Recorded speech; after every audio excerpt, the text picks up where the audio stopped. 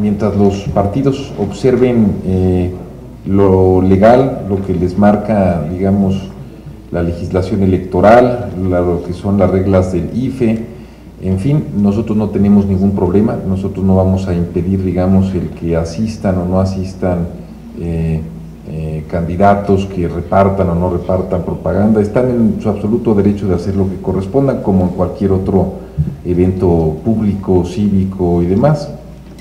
Yo lo que sugeriría simplemente es que ellos